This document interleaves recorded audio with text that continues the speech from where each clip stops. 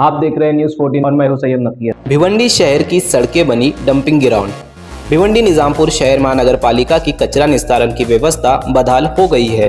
रोज़ाना निकलने वाले कचरे को डंप किए जाने के लिए अभी तक डंपिंग ग्राउंड का कोई विकल्प नहीं मिला है।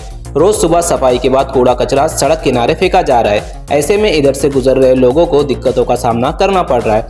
भिवंडी निजामपुर शहर महानगर पालिका के सभी वार्डों में 400 मीट्रिक टन से ज़्यादा का कूड़ा कचरा उठाया जाता है। भिवंडी शहर की मुख्य सड़क कल्याण भिवंडी रोड पर नई बस्ती के पास कचरे का अंबार लग गया है, जो पिछले तीन दिनों से उठाया नहीं गया। स्थानीय नागरिकों ने कहा है कि तीन दिनों से कचरा नहीं उठाया जा रहा, जिससे इलाके में बदबू फैलने लगी है। वहाँ से गुजरने वाले लोगों को काफ़ी परेशानी हो रही है। शहर का ये कचरा स्वच्छ भिवंडी अभियान की पोल खोल रहा है।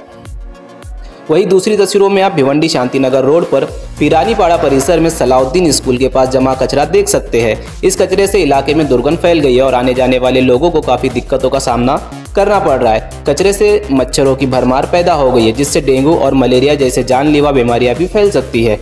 इसी के साथ आप भिवंडी निजामपुर शहर महानगर पालिका की मुख्य कार्यालय के बाहर जमा कचरा भी देख सकते हैं, जो शहर के कचरा व्यवस्था की बेबसी को बया कर रहा है।